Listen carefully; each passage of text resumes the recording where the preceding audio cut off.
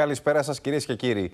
Σφοδρές πολιτικές αντιπαραθέσεις αλλά και αντιδράσεις στο εσωτερικό του ΣΥΡΙΖΑ εξακολουθεί να προκαλεί η επίθεση Πολάκη στο Στέλιο Κιμπουρόπουλο.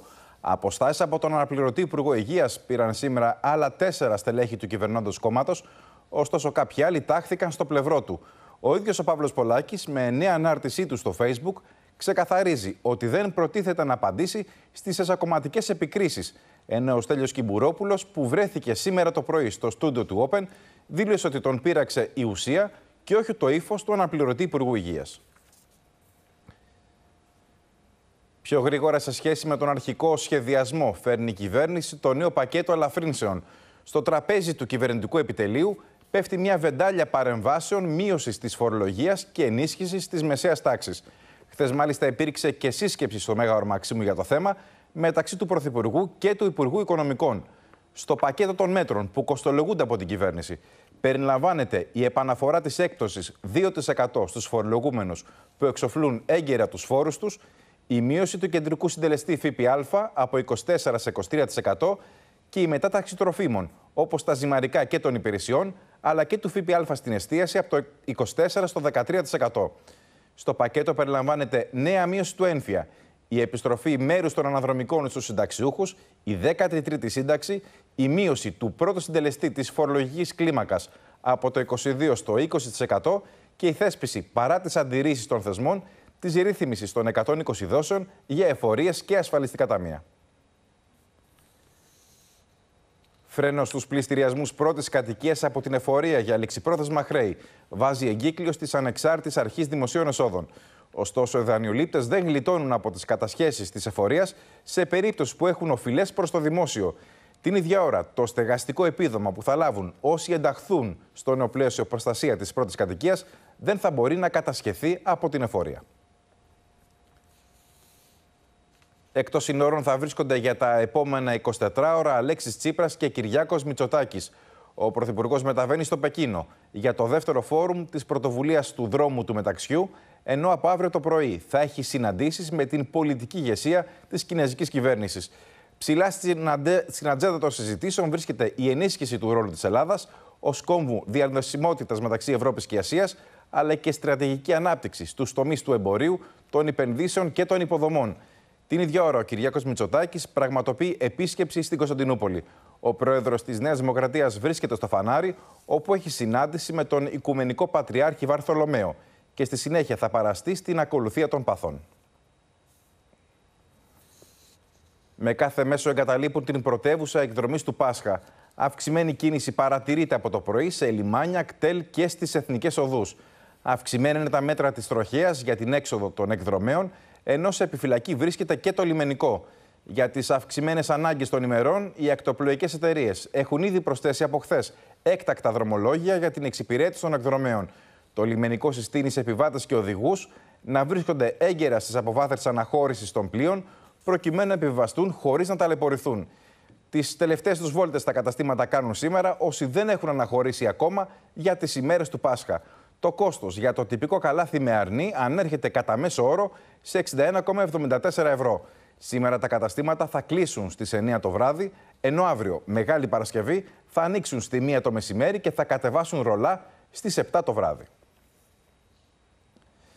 Θύελα αντιδράσεων προκάλεσε το πρόστιμο των 2.600 ευρώ που έβαλε η εφορία στην 90χρονη γιαγιά με τα τερλίκια, που η ιστορία της είχε συγκινήσει όλη την Ελλάδα. Μετά το Σάλο, η Ανεξάρτητη Αρχή Δημοσίων Εσόδων πάγωσε το πρόστιμο επειδή πουλούσε χειροποίητες μάλινες κάτσες χωρίς άδεια κοντά σε λαϊκή αγορά, δεν κατήχε ταμιακή μηχανή και δεν είχε δηλώσει έναρξη εργασιών ως ελεύθερος επαγγελματίας. Στο θέμα παρενέβη και ο πρόεδρος της Δημοκρατίας στη συνάντηση που είχε το μεσημέρι με τον επικεφαλής της ΑΑΔΕ, Γιώργο Πιτσιλή. Ο κ. Παυλόπουλος τόνισε πως όταν ασκούμε τα καθήκοντά μας, δεν θα πρέπει να ξεχνάμε τον άνθρωπο. Αναστάτωση προκλήθηκε το πρωί στο Αριστοτέλειο Πανεπιστήμιο Θεσσαλονίκης, όταν ξέσπασε φωτιά στο υπόγειο του τμήματος Βιολογίας. Γρήγορα το κτίριο γέμισε καπνούς. Άμεση ήταν η επέμβαση της πυροσβεστικής που έθεσε υπό έλεγχο την πυρκαγιά και διέσωσε μία 28χρονη, η οποία είχε εγκλωβιστεί σε ασανσέρ, καθώς και έναν εργαζόμενο που ήταν εγκλωβισμένο σε διπλανό κτίριο. Ενώ τις πρώτες βοήθειες χρειάστηκαν δύο πυροσβέστες. Σε μια ιδιαίτερα υψηλή συμβολική σημασία σύνοδο κορυφής, ο Ρώσος πρόεδρος Βλαντιμίρ Πούτιν συναντήθηκε σήμερα για πρώτη φορά με τον ηγέτη της Βόρειας Κορέας Κιμ Κούν με στόχο την αναθέρμανση των ιστορικών δεσμών ανάμεσα σε Μόσχα και Πιονγκιάνγκ, οι δύο ηγέτες συναντώνται στο Βλαδιβοστόκ, στον απόϊχο της τελευταίας αποτυχημένης συνόδου του Αμερικανού Πρόεδρου Ντόναλντ Τραμπ με τον Κιμ πριν από δύο μήνες. Με μια θερμή χειραψία και χαμόγελα, ο Βλαντιμίρ Πούτιν υποδέχεται τον Κιμ Ιονγκούν, παρουσία 300 ανταποκριτών από διεθνή ειδησιογραφικά πρακτορία. Όλε οι κάμερε στραμμένε στο πρώτο τετατέτ των δύο ηγετών στην ίσο Ρούσκι, έξω από το Βλαδιβοστόκ. Η σύνοδο κορυφή των δύο παραδοσιακών συμμάχων αποκτά ιδιαίτερη σημασία μετά την άκαρπη δεύτερη διάσκεψη του Ντόναλτ Τραμπ με τον Κιμ Ιονγκούν στο Βιετνάμ στα τέλη Φεβρουαρίου. сегодня в Россию послужит делу развития двухсторонних отношений и поможет нам лучше понять, какими путями мы можем урегулировать ситуацию на Корейском полуострове, что можем сделать вместе, что Россия может сделать для того, чтобы поддержать те процессы позитивные, которые сейчас происходят. 이자도 말씀하셨지만 오랜 친선의 역사 전통을 가지고 있는 두 나라 관계를 보다 더 공고하고 건전하고 발전적으로 Με φόντο το πυρηνικό πρόγραμμα της Pyongyang, ο Βόρειο-Κορεάτη ηγέτης επιδιώκει με φιλοφρονήσεις να πείσει τη Μόσχα να αναμειχθεί πιο ενεργά στο μπραντεφέρ της Βόρειας Κορέας με τις Ηνωμένες Πολιτείες.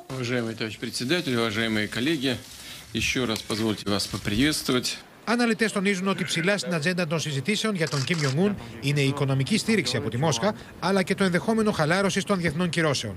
Από την άλλη, ωστόσο, η Ουάσιγκτον διαμηνύει ότι ο δρόμος των διαπραγματεύσεων με τη Βόρεια Κορέα είναι στρωμένος με αγκάθια.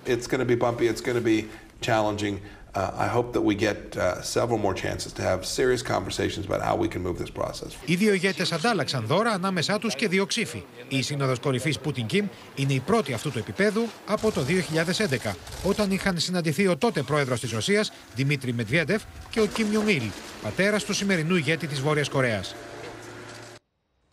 Γνωστό θα γίνει απόψε το ζευγάρι του τελικού του κυπέλου Ελλάδος. Στις 6 η Λαμία υποδέχεται την ΑΕΚ, η οποία καλείται να υπερασπιστεί τη νίκη της με 2-0 στον πρώτο ημιτελικό.